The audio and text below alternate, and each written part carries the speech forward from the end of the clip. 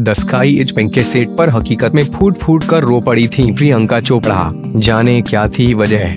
बॉलीवुड की desi girl Priyanka Chopra film the sky is pink से बॉलीवुड में कम कर रही हैं। फ़िल्म का ट्रेलर कुछ वक्त पहले रिलीज़ हुआ था, जिसे दर्शकों ने काफ़ी प्यार दिया।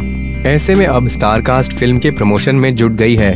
फ़िल्म के प्रमोशन के दौरान डायरेक्टर ने प्रियंका चोपड़ा से जुड़े एक किस्से का खुलासा किया है। दरअसल द स्काई इज़ पिंक का निर्देशन सोनाली बोस ने किया है। फ़िल्म के प्रमोशन के दौरान सोनाली ने फ़िल्म से जुड़ा एक किस्सा बताया। सोनाली ने बताया कि एक सीन में प्रियंका को रोना था, लेकिन सीन खत्म होने के बाद भी प्रियंका फूट फूट कर रोती रही।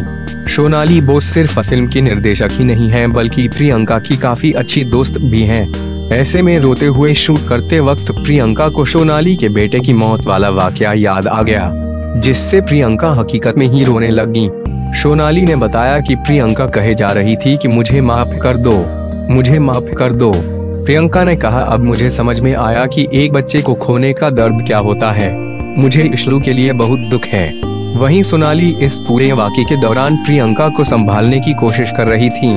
गौरतलब है कि इशलू ईशान, सोनाली बोस का बेटा था, जिसकी 16 साल की उम्र में मौत हो गई थी। मीडिया रिपोर्ट्स के मुताबिक ईशान की मौत इलेक्ट्रिक रेजर से करंट लगने के कारण हुई थी। वहीं इस फ़िल्म की बात करें तो फ़िल्म में प्रियंका चोपड़ा के साथ ही फरहान अख्तर, जायरा वसीम और रोहित सराफ नज़र आएँगे।